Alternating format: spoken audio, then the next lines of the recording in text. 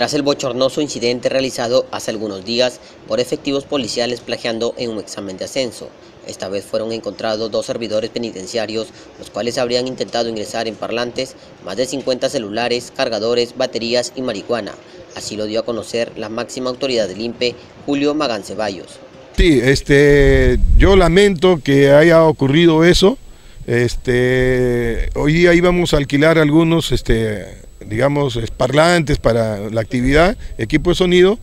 Este, dos servidores del INPE salieron a recoger estos parlantes y al momento que han sido intervenidos por la policía, este, se han encontrado que dentro de estos parlantes había más de 50 aparatos celulares con todos sus digamos, complemento y de igual manera también droga. No tengo el, número exacto porque eso está en plena investigación de parte de la policía. Este, lamentamos ese hecho.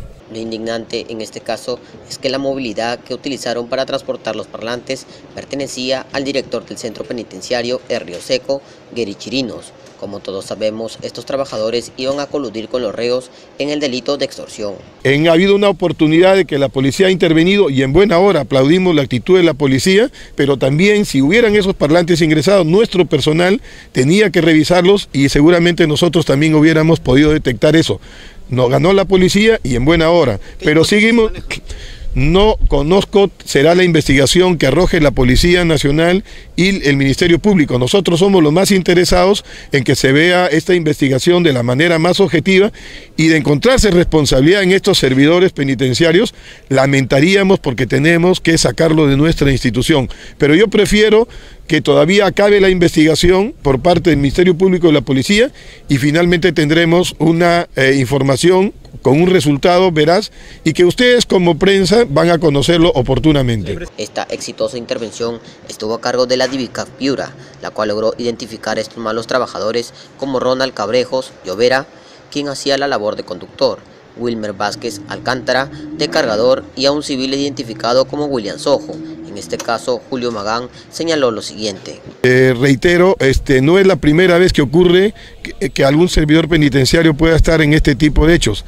Anteriormente, el director del penal acá han intervenido a un servidor, a un profesor que pretendió ingresar droga en las láminas de triple de igual manera a las visitas que han pretendido ingresar en las cabezas de carnero, celulares, droga, inclusive hay dos servidores de nuestro personal que se encuentran recluidos porque quisieron entrar droga en las zapatillas o celulares en la mochila y de igual manera este, en los extinguidores, a un interno que pretendió ingresar en los extinguidores droga.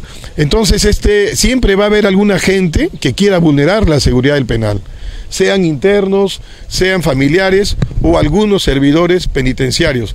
Felizmente, gracias a Dios, son los menos. Esperemos que el Ministerio Público tome cartas en el asunto, evidenciando que las pruebas son contundentes y no les importa ni la presencia de la máxima autoridad del INPE para dar rienda suelta a sus delitos.